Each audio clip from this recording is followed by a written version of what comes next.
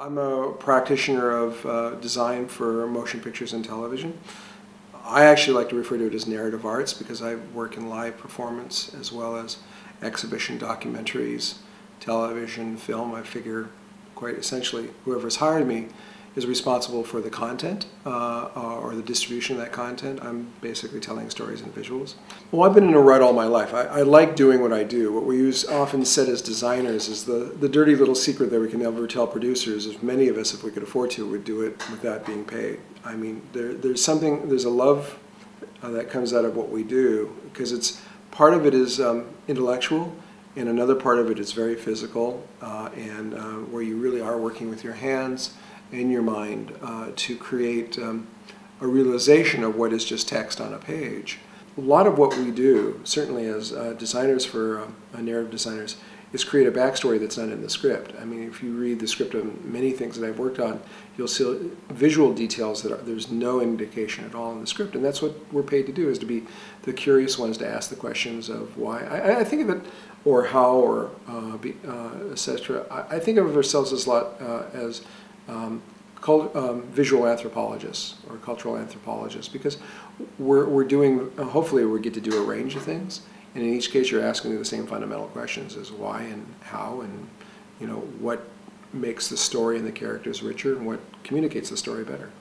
In, in, the States, we don't get to do much in the way of historical dramas because they're very expensive to produce. And we don't have the castles and the manor houses uh, there that you have here. Um, so that's much harder to do period production. I would say anything that's done uh, as a period piece, I, I would, uh, I'm a little bit more envious of. Um, but um, you know, you take you take the opportunities you get and, and go with them. The advantage that they've both had, and I, it's much to their credit. I actually I envy it more than the work, is they've been able to have uh, work with the same directors on multiple pictures, and through that you build a stronger, a more um, uh, supportive working relationship, I one would hope, uh, so that you're not having to prove yourself uh, as much as just prove, you know, can keep, keep uh, the challenge high in terms of doing good work.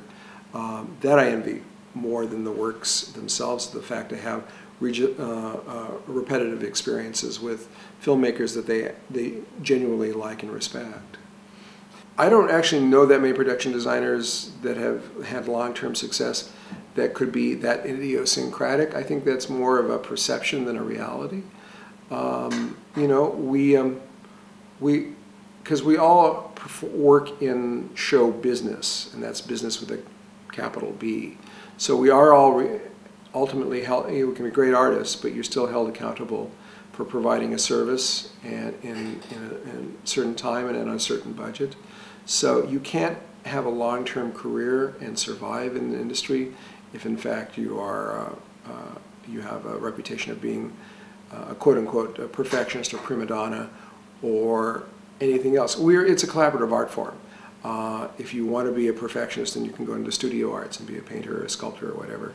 If you want to go into film and television or, or narrative design, as I'll, I'll refer to it from this point, uh, then your responsibility is to to be a good communicator and be a good collaborator because it's it's a group effort not being afraid to fail is really one of the key factors that separates good designers, I think, from poor designers, is being able to know, all right, I'm going to make mistakes. So how am I going to grow from them and how am I going to turn those mistakes into, um, into successes?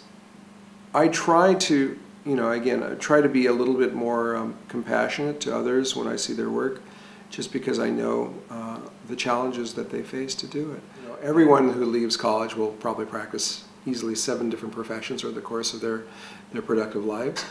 And uh, if you're working in the arts in particular, you really actually need to be cognizant of multiple things. You can no longer hope, if you're a writer, hope that someone's going to, to produce your work without you having to do anything to, to network and build a, consciousness. You can no longer take for granted that somebody else will come along with um, a great marketing plan. You really actually have to know how to market your work.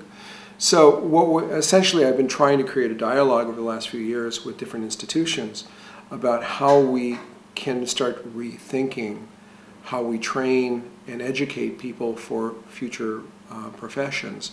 So they, you really need to focus on uh, not only creating a network with um, um, your um, classmates and people who have just gone before you and after you, but you need to really be thinking about the, uh, the entire um, spectrum of, of your um, pursuit. That is, if you're an actor, you really need to know how to write and certainly know how to uh, produce, and you should know how to market and distribute. Um, and that's the same thing true with the director or the cinematographer or the designer. Uh, uh, the business side, you don't have to be an accountant, but you need to know the overall spectrum. It's almost uh, it's it's it's a it's a shallow expression, but say you have to start to collect these apps for yourself, so that you can be more of a, a completely accountable for taking your aspiration and seeing it through to a reality. I think the days are really gone now where you know you can be a great writer and hope a studio will produce your film and then you'll get to share in the glory and the profits. Same thing is true with an actor. Certainly the same thing is true with the director. What we have is on many levels, on a micro level and on a major level, we've lost community as we've gotten so global with our industries. Our industries, especially in entertainment, are all global and they're not going to be going back to being regional affairs anymore. So you really need to be not only current with technology and, and, and discerning about technology because not all technology is necessarily helpful, but discerning in terms of what technologies work best with what it is you're trying to do, and then being able to communicate and network with other uh, equally minded individuals that share your passion and aspirations. So it comes full circle back to as opposed to just going out there and doing it, going out there and doing it and creating a, a, an integrated network through technology of friends and, and associates that will help you make whatever your aspiration is successful and, and professional.